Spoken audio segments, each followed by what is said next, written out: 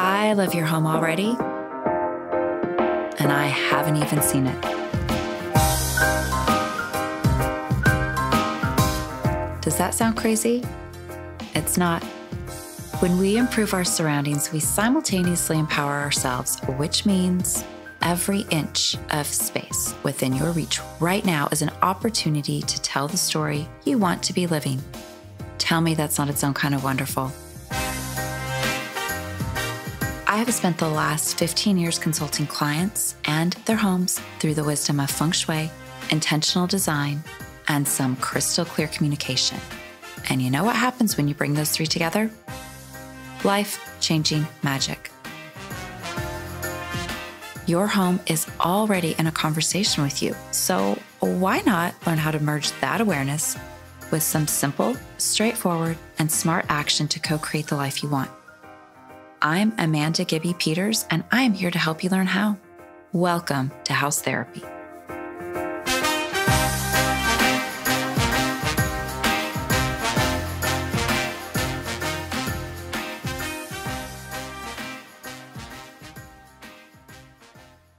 You, your body and brain are under the influence and highly susceptible to the environment you're in. So when people ask me how to be more productive, feel motivated, get shiz done, well, we got to talk about your environment. There's a book I love because it is so universally recommendable, and that is Atomic Habits by James Clear. And one of the things he shares in his book is that motivation is overrated. Environment often matters more. So if you feel slowed down, run down, or like you're barely keeping up, especially as we come into this new year, I want to share some self hospitality a la house therapy tips because they are pretty spectacular at infusing our space and us with more energy. And energy is a good thing to have when you're wanting to be more productive. Okay, so tip one let's talk about your front door again. As you know, this is the architecturally intended front door, and it is known as the mouth of chi, like your own mouth, where you take in oxygen, nourishment, and water. This is where your home takes in auspicious energy, which is opportunity, refreshments, and synchronicities in your life. I want you to think of it this way what if some of the things you do every day didn't need to be chased, hustled, manifested quite so much? What if instead you could invite those opportunities your way? Now, think of your front door as the first impression. If energy, again, think opportunities, likes what it sees, it's going to beeline to you. By the way, this curb appeal topic is showing up everywhere on home trends for 2023 lists. So this one really should be easier than ever to make happen. So, if you need a few easy upgrade ideas, we've covered these in a previous episode, but by way of reminder, replace any burned out lights with brighter wattage. Wipe down the door and its hardware.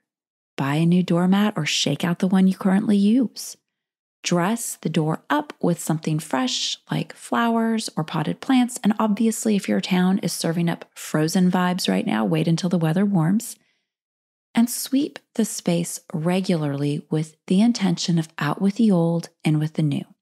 These are seemingly simple sensibilities, but they are the details that make a real difference. So, what's the productivity hack? Well, when you've got your door calling chi, again, opportunities, refreshments, possibilities your way, you don't have to spend as much of your energy making things happen. Instead, you corral that energy of yours so you're able to show up for the assignments and opportunities that do come your way. Tip two step into your house, and now let's have a look at your entry and really maximize your flex here. Consider the entry that your guests come through as well as the entry you come in on the daily. Thresholds hold a powerful sway in how we feel every day. And the easiest way to get the most out of yours, don't underestimate the power of a clean entry. And by clean, yes, I mean tidy, but I also mean leave a little open space. It is a well noted and much appreciated detail. Place a basket or tray out for capturing those loose ends, you know, keys, sunglasses, or anything that might need to be returned to your guests. A simple bench or an airy hall closet that can offer refuge for coats and purses. And as for any other surface within sight and reach, keep it clear from clutter. Okay, again, what's the productivity hack behind this one? Well, without decision fatigue or overwhelm hijacking and sabotaging your attention, the quality of your own energy stays intact and at your full disposal. Tip three move 27 things. All right, so in feng shui, we love the number three. It has an energy to it. It's heaven, earth, human. It's the Holy Trinity. It's health, wealth, and prosperity. And when you times three by three by three, you amp that energy potential. And that's how we land on the number 27. So, whenever we move things in our home, we're disrupting tired energy patterns in our surroundings. You know, thinking the same thoughts, living the same habits, having the same experience, which could be feeling not productive. Our habits in our home are so hardwired we aren't always paying attention. We kind of just clock out. So if you want to change your perspective, literally change what you're perceiving around you. And whenever you need an energetic recalibration, this tip has mileage. So tuck this one away. And if you want to kick this energy hack up even another notch, try getting rid of 27 things. And if clearing the clutter feels challenging, I'll tell you this it's a clue that this endeavor is sure to bring something entirely new into your reality. So, what's the productivity hack here? Well, anytime we rig an infusion of new energy moving through our space, it also means that we're going to feel that rush too. Add to it that you're seeing things differently, and that translates to seeing new solutions, inspiration, or possibilities. Or as I like to say, less push feels more like, ah, thanks for the lift. All right, tip four Do you have clutter? we're talking desk clutter, on the floor clutter, closet clutter, clutter on the counters. Clutter in general weighs you down.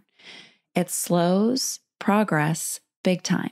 And it's also what we notice almost immediately when we walk into someone's home or office.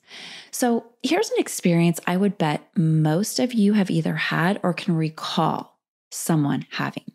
You're in school, you have a big assignment or project or maybe an upcoming test. And for whatever reason, you've put off doing it or studying for it to the very last minute. And now it's crunch time. But instead of sitting down to start right away, what do you do? You clean your desk or organize the space before getting started, right? Can anyone else relate?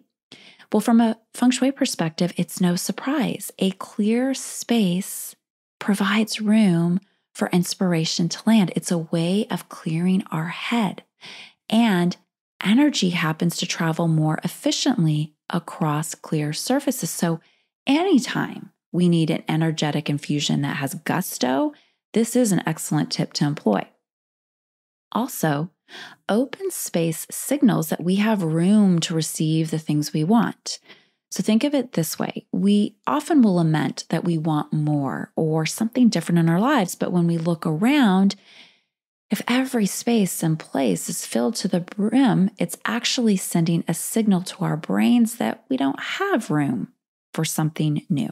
Translation, we might also not be ready to handle more. And we all know that more is not necessarily better, right? Like an abundance of things does not unequivocally equate to an abundant life.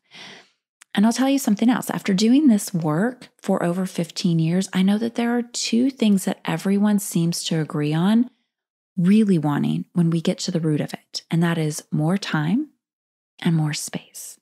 So, the productivity hack here is clear space means we don't wake up chronically overwhelmed. We aren't constantly in conversation with doubt and indecision.